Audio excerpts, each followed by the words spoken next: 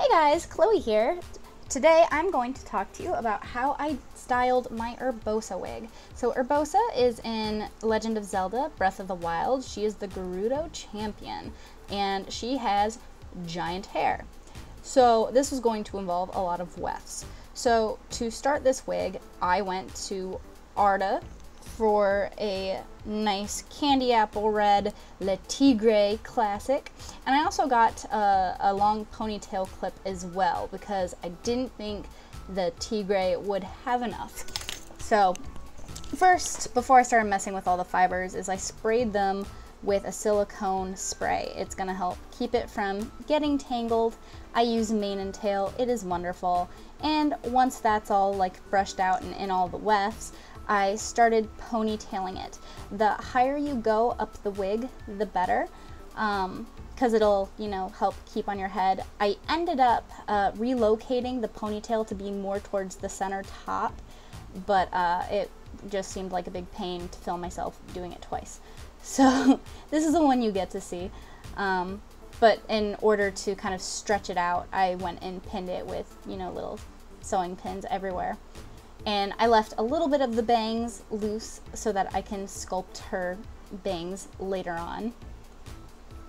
And the fun part, so she has a lot of volume, right? So my solution for creating volume was not just to tease it insane amounts, but to also kind of curl it. I kind of like to think that the Gerudo, who are a desert dwelling people, would have like um, like kind of like waves to their hair. Um, so the easiest way to do that is you can either use rollers of some kind that have to be able to withstand boiling water or you can just braid it in a lot of little braids. Uh, braiding it, the ponytail bits, I want to say took a half hour just for the wig itself. Not entirely fun.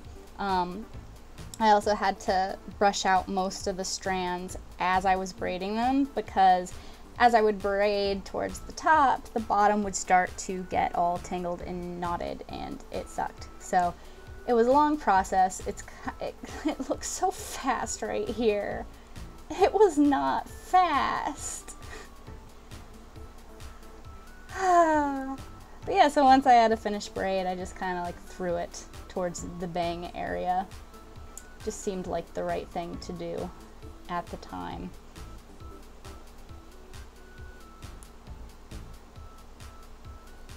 So much hair.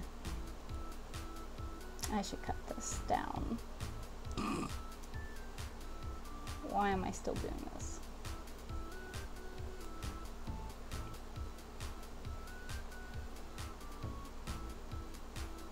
This is just the worst. No, you know what? I'm gonna leave it in. Y'all have to suffer. You have to know.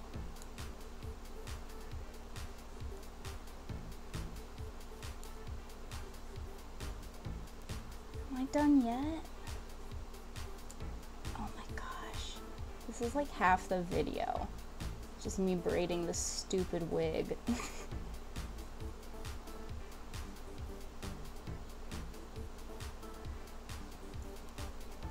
a full minute of just braiding. I think there's like two full minutes of just braiding.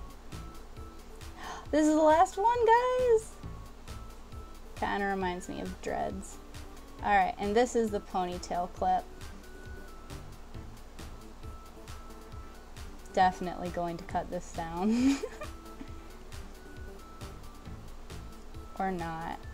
I don't know. Think about it. Yeah, the ponytail clips are very long.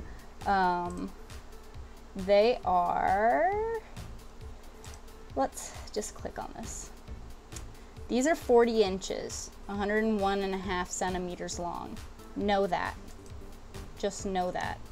Oh, another reason I went with Arda versus Epic and why I chose their classic instead of their silky is because it is easier to tease and create volume and for future reference like spikes and stuff. Um, otherwise, Epic is much closer and tends to get here much faster. they are a drive away from me. It's very nice.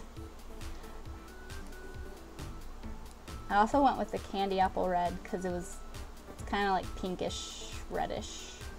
It's not like a vibrant fire engine red. I didn't want that. Don't really like that shade for most things. But I have noticed that I have a lot of red in my life. Hey look, Urbosa's on the chair, judging me. She doesn't believe.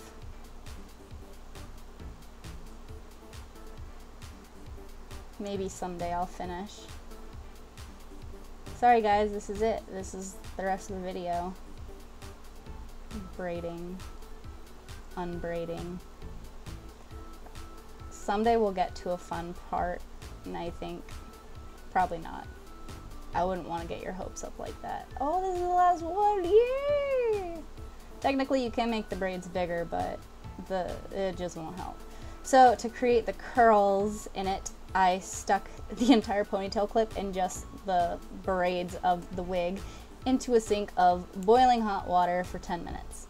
And then I let it sit overnight and dry in the bathtub. And then you can take all the braids out. They look so nice and wavy.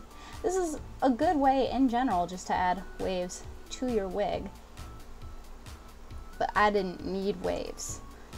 I need volume. So all those pretty little waves are gonna be destroyed. It looked pretty once. nah, it still looks pretty.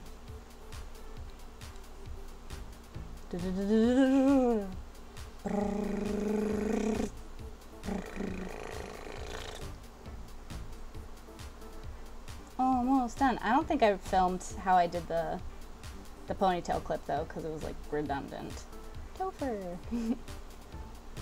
Alright, so then once it's all braided, unbraided, I guess, I then go and brush it out. The more you brush it out, the more kind of frizzy it's going to look. Which the frizz is what helps make it so voluminous. Is voluminous. No. Who cares? English is a weird language.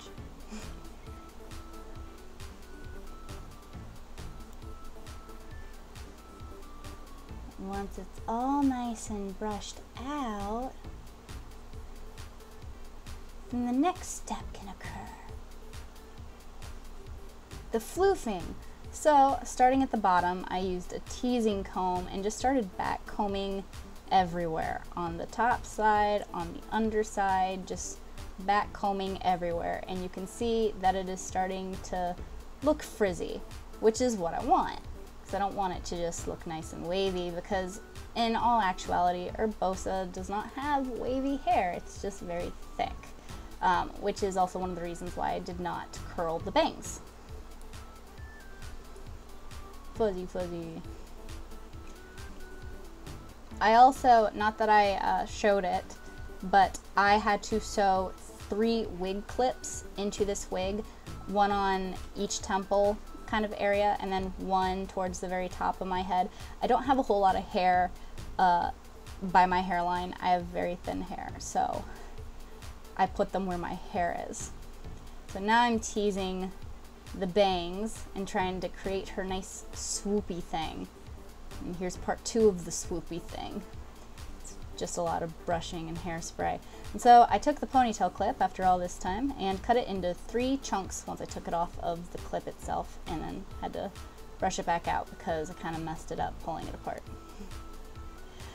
And then I took some extra wefts. Uh, it, it was hair from the bangs and I created them into little wefts that I could make a false hairline out of that way it looks smoother because you can kind of tell on the right that uh, the hair on the side is very not laying down right. So once that was all done, I took the first chunk of the ponytail clip and glued it directly to the top. The ponytail clip's uh, hair is nice and not super frizzy looking because it wasn't there for that part. So this is mostly just to make it look nice and then to ponytail it in the appropriate location. And I put the headband thingy on it. Mess with the bangs some more.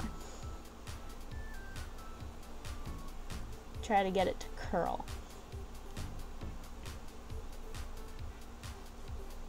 sometimes you gotta pin it to make it curl. They're very stubborn.